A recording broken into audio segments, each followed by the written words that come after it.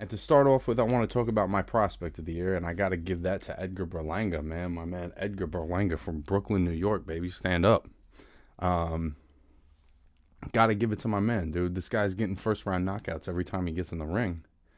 How am I not going to give it to him? Um, of course, you know, he's going to have to step up in competition over time, and he's going to have to prove that against some more capable fighters.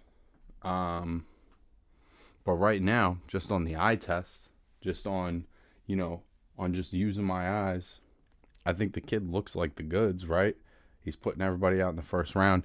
There's extremely skilled guys that don't put bums out in the first round, you know? But this guy, you know, and he's taking these incremental steps up in competition, and it doesn't really seem to matter. Um, so I look forward to seeing. And there was a look, there was other guys that I thought maybe could be the prospect of the year. I thought maybe Elvis Rodriguez would be a good pick. You know, I really like Robeisy Ramirez. I love how well rounded his skills are. And as good as both of those guys have been, none of them have 16 fights that are all first round knockouts. Like, th- there's that's a very exciting, even concept. You know what I'm saying? Like, oh, nobody can last more than three minutes with this man. That's like a that's a very marketable feature right there to be able to say that. Like, nope, you don't even get out of the first round when you get in the ring with me. You know what I'm saying? Like, and I think it's going to take some levels up before he can find that. I think he's that good because you could see that he's got skills. You know, you can't put guys out like that if you don't know how to set it up. You can't. You know, he clearly knows how to set his punches up and put a little space between him and his man to create power. He obviously has a good understanding of that. He's not smothering himself, you know. So I think this is a very dangerous cat, and you know I'd like to see him in with somebody with some more experience, who's had some success, you know, at a different level, at a higher level. You know, Gabe Rosado is one of the first that comes to mind. David Lemieux, I think, would be a great opponent for him. Anthony Dirrell would be a great opponent for him. You know, somebody in that that's like a true contender, um, but just guys in the top 10, top 20 that are just below the elite of the division. You know, I want to see what he looks like at that level because there are times where you step up like that and it's a different thing. It's just a different thing when you're fighting, you know, professional fighters and then all of a sudden you're fighting world class professional fighters. You're fighting the guys that are amongst the best 20 guys in your weight neighborhood on the planet. You know, it's a different thing it's just a different thing. You know, the first thing that came to my mind was, and it's not the same thing at all. But you think about like Broner and Ponce de Leon. You know, Broner looked crazy against everybody before that fight, and then he fought Ponce de Leon. It's like, oh, this is a different thing. Like, does do your skills hold up? Um, against this skill level, against this class of fighter. I think Edgar Berlanga is way better than Adrien Broner will ever will ever be, but I do think that we got to see it for ourselves against a real good fighter, and I hope we get to see that in 21. Um, you know, my my trainer of the year, I felt like this one was actually probably the easiest. Got to be Derrick James, you know, and I'm seeing a lot of other people agreeing with me. You know, having potentially the two best wins of the year. You know, Jermell Charlo stopping Jason Rosario with a jab to the body, and then having Errol Spence fucking beat Danny Garcia after coming back from that car accident, you know, for me, Derrick James has got to be the trainer of the year. And anytime you see this dude interviewed, man, like that's the kind of guy you want in your camp. You know what I'm saying? You want like a you want a calm but critical thinking person. You know? And that's exactly how he strikes me. He strikes me as very level and somebody who you can come back to the corner and have like a good exchange with that's gonna you know keep you confident but motivate you at the same time you know? And i think both of those wins are definitely the best wins of 2020 outside of lopez and lomachenko. Um, and certainly the getting errol spence ready to fight you know a top 10 welterweight after that car accident i think is pretty fucking impressive. And i think it absolutely makes him the trainer of the year for me. Um,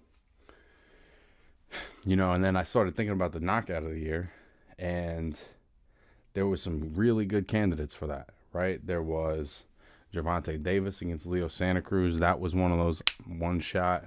You got fucking Dillian Whyte getting knocked the fuck out by Alexander Povetkin. You know, that was a real fucking lights out shot. You had Jermell Charlo putting Rosario out with a jab to the body that left him kind of like hiccuping on the floor. You know, and that was a brutal way to go out. But for me, my knockout of the year and my fight of the year has to be Jose Zepeda and Ivan Baranchyk. You know, these two guys put their fucking heart and soul on the line in this fight. I don't know if you've seen it, but they knock it's five rounds and they knock each other down four times each. And in the fifth round, Zepeda lands, I believe, a right hand. I got to go back and watch it actually because Zepeda is a southpaw. It might have been a left hand. But if you watch this fight, man, literally just before it, Baranchyk puts Zepeda down for the fourth time in the fight. Zepeda gets up. He's, you know, it was a more of like a ropes held you up knockdown. He's he's up. He's doing the count. You know, and Baranchyk, of course, is like, I'm gonna fucking stop this guy finally. And Zepeda just puts him out like that. And the truth is, it's it, the knockout was so rough that it was disturbing. Um, when it happened, even Tim Bradley, who was doing commentary, was I think really um just really struck by it. And if you even if you've just like I, I think if you've been hit or if you've been in the ring, you've kind of felt that fear at all, like for especially somebody like Tim Bradley who fought at the highest level, it must be really jarring to see something like that because that could have been him against Ruslan, or it could have been Ruslan. You know, when two guys are swinging like that, landing hard shots like that, there's always the potential that something bad can happen, you know, and that's part of the sport. But I think it's part of the beauty of the sport in a sense because these these these guys are so resilient and they're putting so much on the line every time they get in the ring and they know what they're putting on the line every time they get in the ring. That's the thing too. They know what they're getting into more than we will ever fucking know they know what they're getting into, you know?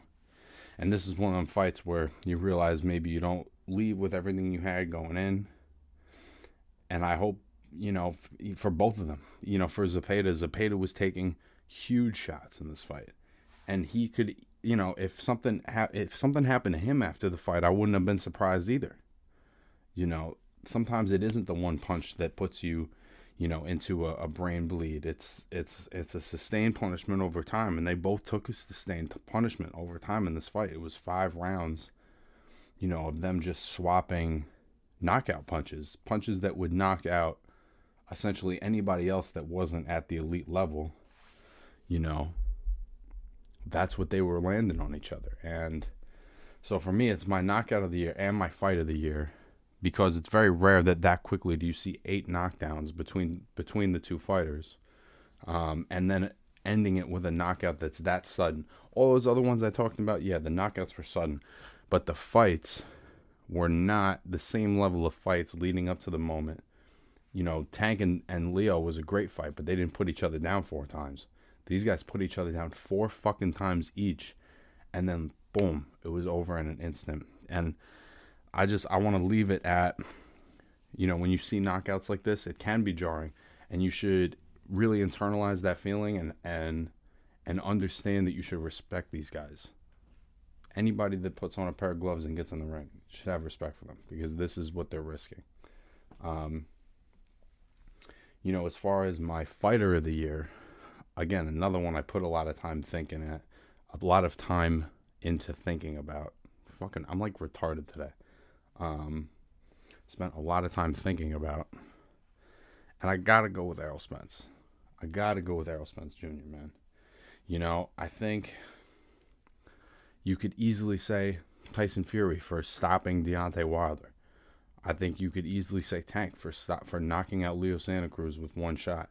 I think you could definitely make an argument for Teofimo Lopez, you know, winning a decision over Vasily Lomachenko. But for me, the magnitude of, you know, the comeback that Errol went through and and the severity of that car accident and just the fact that he's alive, let alone able to prepare himself for a high level boxing match, I really think it's amazing. It's it's a lot like the Danny Jacobs story, you know, where it's very rare that people survive these kinds of or not rare, but it's sometimes people don't survive these kinds of things. So when somebody survives and then is able to perform at that level again, it's just like it really is amazing. And I feel like on a personal level, I've had a lot of injuries, right? I've had issues with my hands, I've had issues with my ankles, I've had shoulder surgery, I've had knee surgery, right? So all of these things, it's never easy to come back from these things. It, it gets harder because every time it's just like there's one more thing that's damaged on you. So every time you got to come back, you're dealing with stuff that's fixed already. You know what I'm saying? So for him, in that kind of accident, you know, to not really have that many crazy injuries that aren't like cosmetic injuries, you know, teeth and facial injuries and whatever, like it's just amazing, man. It's just amazing. I'm glad he's healthy. I'm glad he can still fight. And clearly, he's still maybe the best fucking welterweight in the world.